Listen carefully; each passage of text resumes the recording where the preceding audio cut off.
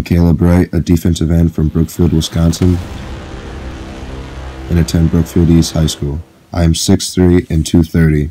I'm going to bring hard work, dedication, and leadership to Husky football. I've decided to be a Husky because I believe I will grow to be the best player I can be at NIU.